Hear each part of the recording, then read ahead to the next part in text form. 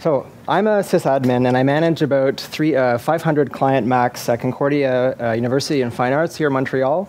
And I do it almost entirely in Python, and uh, a lot of other organizations actually do as well. And there's actually a lot of people who, uh, are like me and uh, use an ecosystem of Python-based tools, and so I want to show a few of these to you today. So first one is called Munki. It's a system for managing uh, software installations and removals on Mac clients. It's written by Greg Neagle at Disney Animation. Um, basically, you have uh, your clients, you have uh, package repository, and then clients uh, pull that package repo and pull whatever software has been designated for them. Um, it can be very specific if you want as an admin, or users get to use this uh, self-service application that looks a lot like the Mac App Store.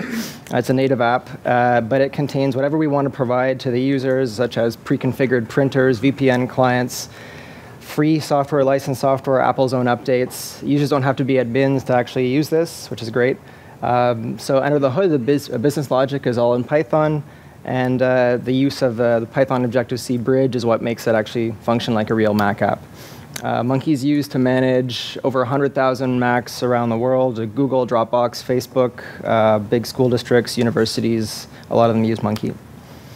Um, next up is Auto DMG or Auto Damage by Per Olofsson at the uh, University of Gothenburg. It takes your OS 10 installer application, you run it, it runs the installer to a compressed disk image, and you wind up with an image you can re-image to machines quickly without ever having to do any manual steps uh, to create an image. You can add additional apps and packages as well. Again, all the application logic's done in Python, but uh, there's an Objective-C bridge to provide the, the GUI native app behavior.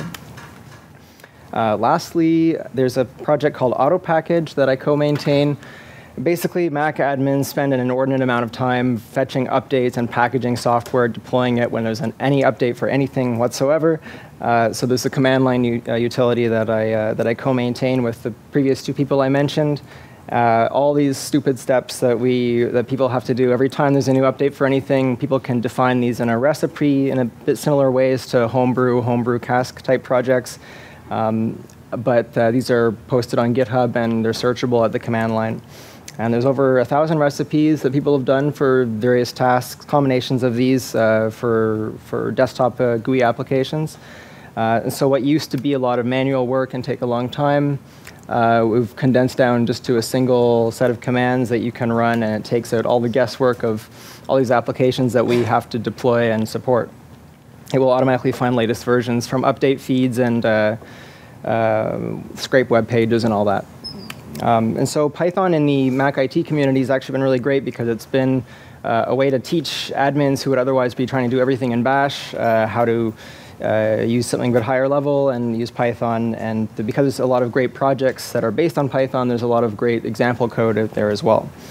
Um, the other reason that we like Python is because Apple ships in OS 10 a Python Objective-C bridge, uh, which lets you access a lot of the native uh, OS 10 APIs directly from scripts without ever any ever compiling anything or dealing much with memory management. Um, these are just a few of the APIs that people would tend to use either for system uh, routine tasks or for uh, or for user-facing tasks as well. So now I'll quickly show you how you would use um, location services, uh, the API to to get a location of the of the Mac uh, so this is just in native interpreter, uh, Apple System Python. Uh, we just have to uh, import the core location module, no additional steps necessary. Um, we then have to do this weird thing where we create a manager and we actually are calling alloc and init calls on a class method, but depending on the API you use, there's different ways to actually initialize objects. Um, we then have to ask it to start updating the location. We get the coordinate from the location, latitude and longitude. Verify that we actually got something that's a bit off center. And then we can just do something just to demonstrate that we actually got something useful. Um, open the map at the current location that we got. Um, and so that is it. Uh, thanks, everyone. That's my Twitter handle. That's my blog, GitHub. And if you've got any questions afterwards on these projects or this kind of PyObjective-C stuff, come find me. Thanks.